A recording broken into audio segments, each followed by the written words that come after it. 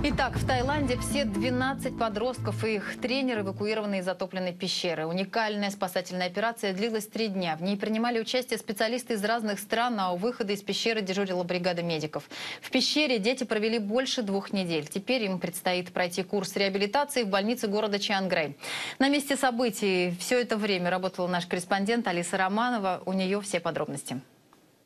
Можно сказать, что операция спасательная практически завершена. Не все еще вышли, все, кто находился в пещере, я имею в виду э, врачей и э, спецназовцев, которые э, помогали мальчикам э, выживать всю последнюю неделю. И вот сейчас поднимается, кстати, вертолет из полевого лагеря. Мы находимся в непосредственной близости. Это значит, что на его борту один из спасенных сегодня четверых э, школьников.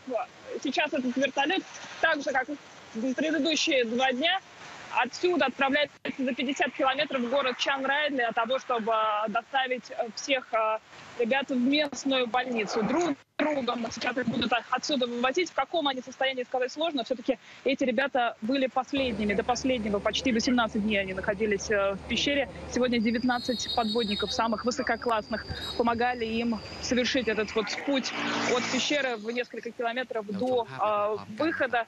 Примерно э, 8 часов заняла сегодняшняя спасательная операция. То есть каждый день а, специалисты набирали скорость, несмотря на то, что пятерых они сегодня достали.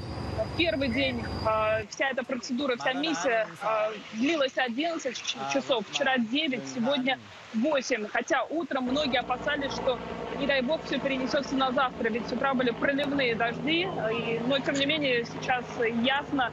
И можно сказать, что погода благоприятствовала. Уровень воды не поднялся, что помогло спасателям завершить благополучно эту операцию. Международные дайверы, э, скалолазы, которые живут временно в Таиланде. Кто-то прилетел из своих стран, просто совершенно невероятных масштабов э, и такой вот отзывчивости, что ли, получилась эта история. О состоянии, повторюсь, последних четверых школьников нам пока ничего не известно.